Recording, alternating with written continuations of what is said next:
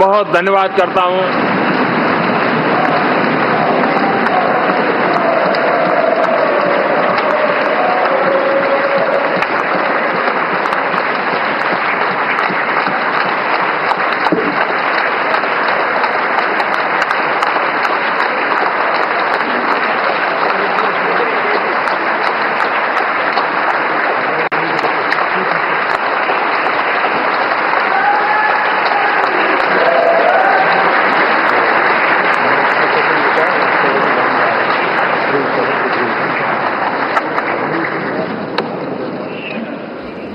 டெல்லி நாடாளுமன்ற வளாகத்தில் நடைபெற்ற தேசிய ஜனநாயக கூட்டணி கட்சிகளின் தேர்ந்தெடுக்கப்பட்ட எம்பிக்கள் மற்றும் தலைவர்கள் கூட்டத்தில் பிரதமர் நரேந்திர மோடி உரையாற்றினார். கடந்த பத்தாண்டு கால பாஜக ஆட்சி குறித்த பல்வேறு சாதனைகளை சுட்டிக்காட்டிய அவர் கூட்டாட்சி ஒன்றே இந்த மூன்றாவது முறை ஆட்சியில் குறிக்கோளாக இருக்கும் என்று குறிப்பிட்டார். மிக குறிப்பாக நடந்து முடிந்த ஜி டுவெண்டி மாநாட்டால் இந்தியாவுக்கு புதிய புத்துணர்ச்சி கிடைத்திருப்பதாகவும் அவர் கூறியிருக்கிறார்.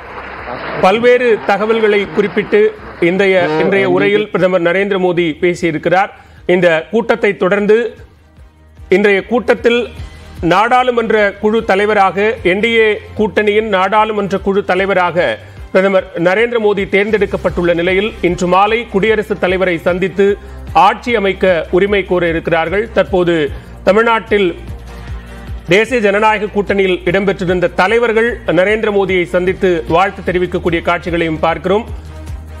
கூடுதல் விவரங்களோடு இணைகிறார் எமது டெல்லி செய்தியாளர் சுசித்ரா. சுசித்ரா விவரங்களை பதிவு செய்யலாம்.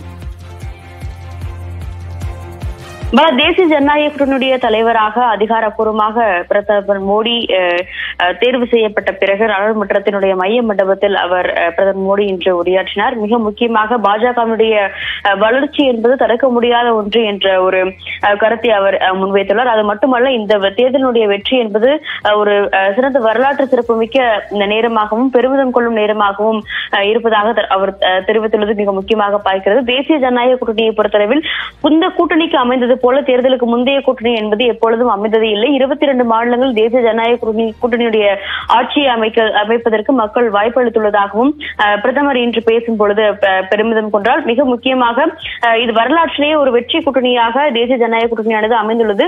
அனைவரும் இந்த கூட்டணியில் இடம்பெற்றுள்ள அனைவரும் ஒருமித்த கருத்தை எட்டுவதற்கான ஒரு நோக்கத்தையே கொண்டுள்ளோம் என்ற ஒரு கருத்தையும் அவர் தெரிவித்துள்ளது. மிக முக்கியமாக பார்க்கப்படுகிறது. அதே சமயம் தமிழ்நாட்டை பொறுத்த அளவில் சீட் என்பது கிடைக்காவிட்டாலும் இருந்தாலும் வாக்கு வங்கியினுடைய அந்த சதவிகிதம் என்பது பல மடங்காக அதிகரித்துள்ளது. எதிர்காலத்தில் பாஜக நிச்சயம் தமிழ்நாட்டில் கால் ஊன்றும் என்ற ஒரு கருத்தை அவர் நம்பிக்கையுடன் அஹ், முன்வைத்துள்ளதை நம்மால் பார்க்க முடியும். அடுத்த பத்து ஆண்டுகளில் தேசிய ஜனநாயக கூட்டணியுடைய ஆட்சியில் நல்லாட்சி வளர்ச்சி வாழ்க்கை தரம் ஆகியவற்றில் கவனம் செலுத்தப்படும் என்ற ஒரு உறுதியையும் தற்பொழுது பிரதமர் இன்று பேசும் பொழுது முன்வைத்துள்ளார்.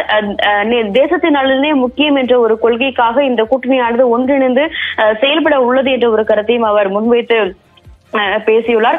பல்வேறு அஹ், கடுமையான தாக்குதல் தாக்குதலையும் தாக்கலையும் மீதான ஒரு தாக்குதலையும் அவர் முன்வைத்துள்ளது மிக முக்கியமாக பார்க்கப்படுகிறது.